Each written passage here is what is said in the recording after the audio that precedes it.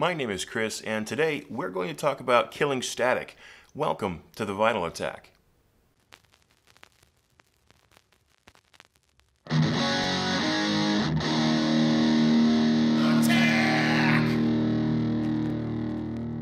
Since the very beginning of this channel, it seems, the topic of static elimination has been a prevalent one, and rightly so.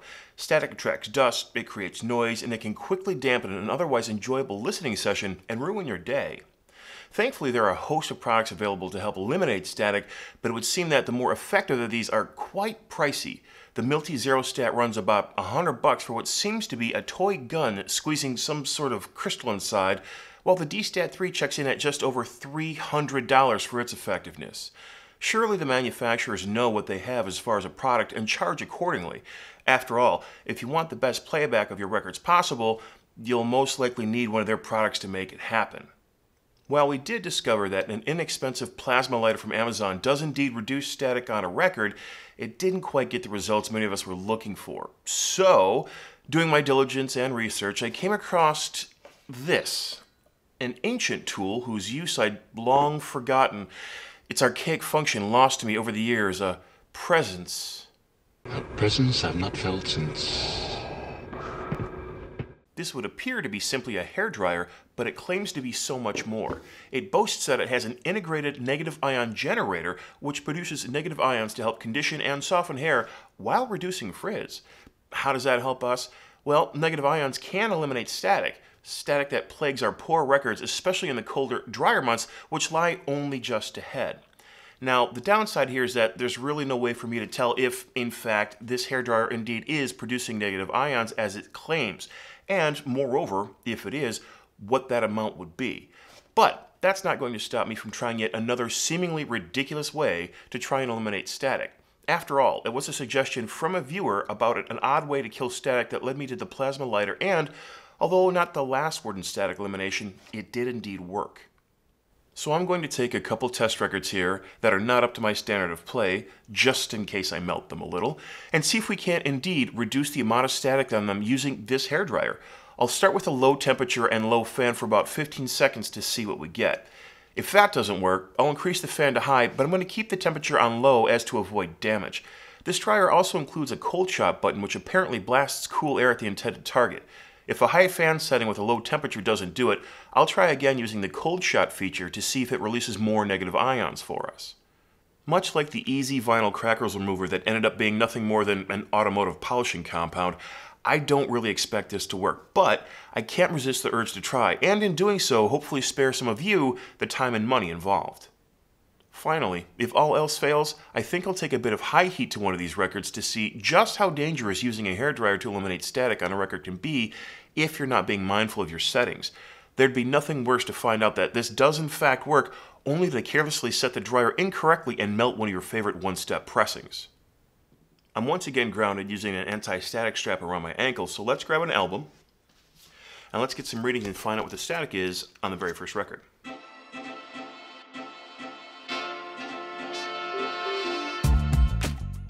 Wow. So 13, 10,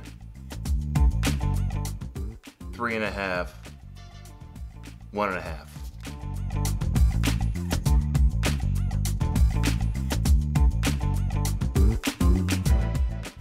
All right, we have our hair dryer. I'm going to set it to low and I'm going to do a low fan and I'm going to go about 15 seconds and I hope it does more than just make noise. Let's find out.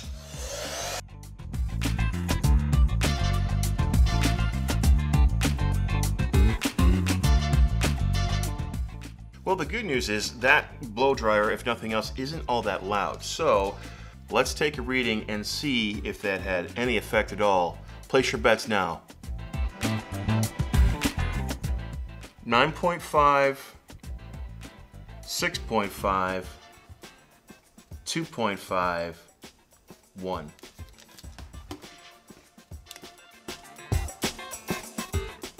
So that is in fact a result, although it's very, very marginal. I wouldn't call that a positive result or a good result at all. So let's put this one aside, let's get another record, we'll get a reading on that, and we're gonna try a higher fan setting.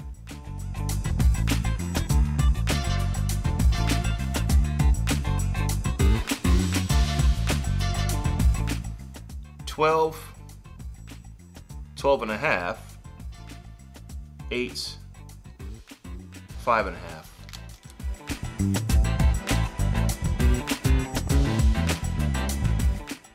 All right, low temperature, high fan setting, 15 seconds. If nothing else, it is doing a very good job of blowing all of the dust and debris off the record.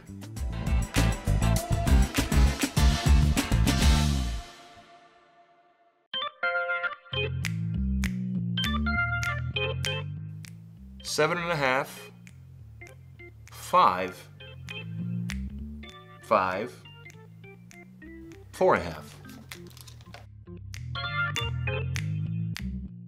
So we are seeing a little bit of a depreciation in the numbers. A couple of points, a couple of points. Actually, this is a pretty good one. 12 and a half to 5 is actually fairly decent. This is only, what, 3 points? This is only a point.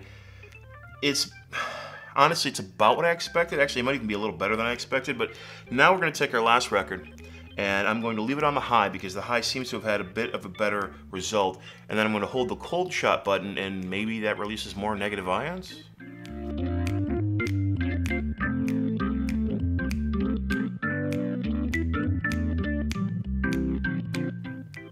Seven and a half, eight, five, four and a half.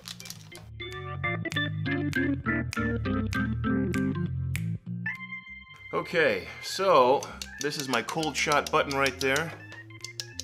And we'll put it on the high and see if that does anything for us.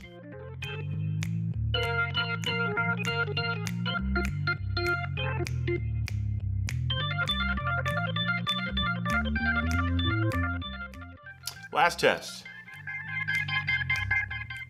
Seven and a half, seven, three and a half, three and a half.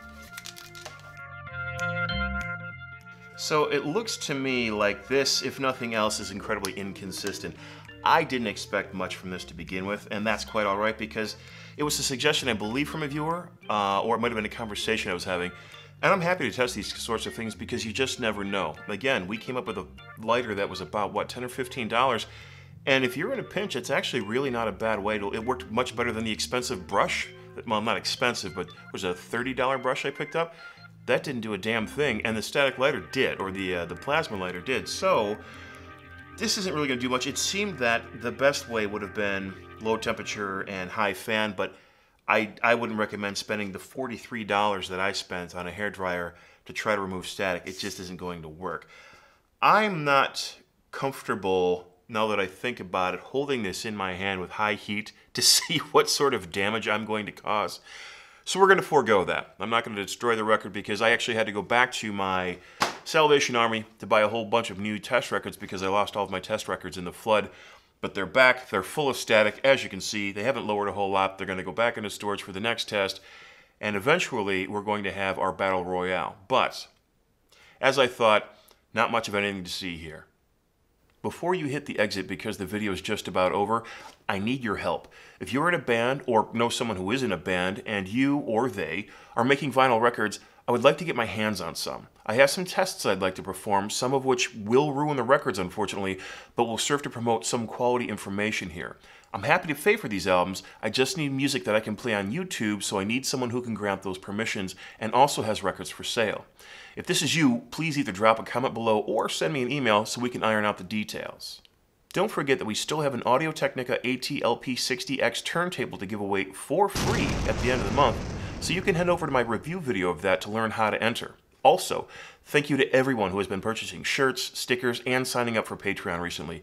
It really does go a long way to support this channel, and you have my sincere gratitude. Next week, we have another review, so stay tuned for that. And until then, I look forward to next time.